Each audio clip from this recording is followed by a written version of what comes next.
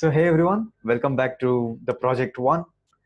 So in the previous section, I mentioned that with project one, we'll be creating a full stack development application wherein we'll be creating a microservice in the middleware and then we'll have a front end which will be written in Angular and then we'll be deploying all of these together and also along with the database in RDS. So in this project, the first step that we are going to do right now after looking at the architecture diagram is to go ahead and clone our repositories where we have our backend code. And then in the next lecture, we'll go ahead and clone our repository where we have the front end code. And once we have everything set up, we will do a local testing. And then finally, we will go ahead and deploy all of our infrastructure to the respective services that I mentioned, which is nothing but ECS and ECR for the middleware. Uh, for the front end, we are going to use S3 with CloudFront. And for the backend, we are going to use RDS for our database. So in today's class, what we are going to do is we are going to create a local environment by using a, a simple EC2 instance.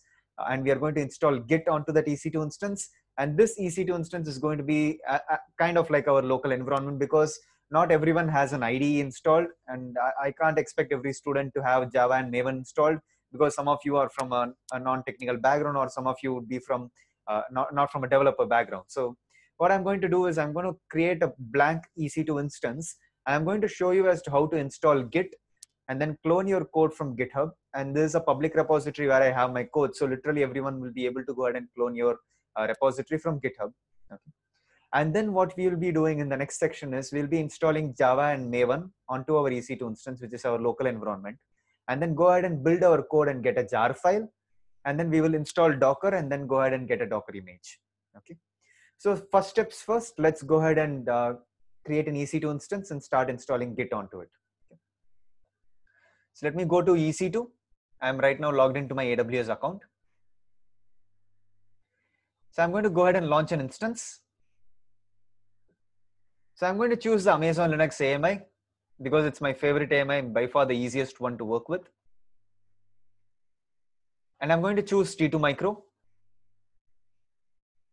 I'm going to keep this in a public subnet. So it's like my local work machine so that I'll be able to connect to it from my laptop and I'll be able to start working with this as soon as possible. Uh, because I would like internet connectivity into this machine because I have to also go ahead and download packages from Maven uh, in terms of all of our dependencies for our uh, application. Okay. So I'm not going to give any IAM roles right now. I'm just going to keep it as simple as possible. I'm going to stick to 8 GB of storage. That's more than enough for me right now. For the name tag, I'm just going to call this as local dev machine. For the security group, I'm going to create a new security group called local dev machine, SG. And port 22 is going to come from my IP address. Click on review and launch. Click on launch. I do have a key pair that I've already created. Launch the instance. So I'm just going to wait for a second until this instance is launched. And then I'm going to go ahead and start installing a Git onto this machine. And then I'll show you how to configure Git and then how to clone a repository. Okay.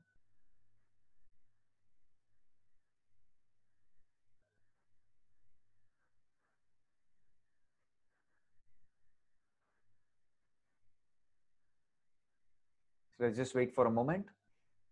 The instance has come to the running status. Let me try connecting to this instance. So grab the public IP of the instance, go to your terminal and start typing the SSH command. SSH EC2 hyphen user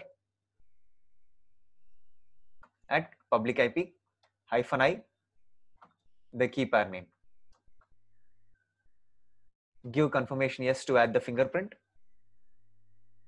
Awesome. So we are within the machine right now. And the first thing that we are going to do is we are going to elevate our privileges to super user and then now let's go ahead and install Git onto this machine.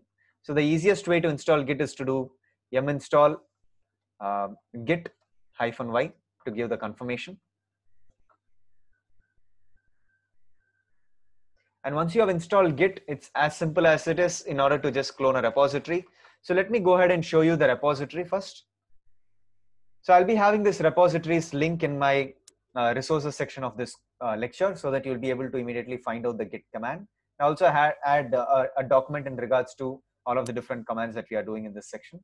So we have our code over here and it's nothing but a Java Spring Boot application. And later I'll talk about how this application works once we do the local testing of this application. But for right now, the way that we would go ahead and clone our repository is to click on code over here and then grab the HTTPS link in order to clone the repository. And then go ahead, go to terminal and start typing git clone the repository into a specific folder. I'm just going to call that folder as student. So it has automatically cloned our repository's code. Let's go ahead and type ls. So let's go into student folder. So you can see that we have already cloned our files into this EC2 instance. So after cloning our files, the next step that we have to do is we have to go ahead and um, install Java and Maven and then go ahead and install, I mean, execute a command called as maven install or maven package, which would go ahead and get our jar files from installing all of the dependencies that are mentioned within the pom.xml file. So let, I'll catch you guys in the next section where we go ahead and do that.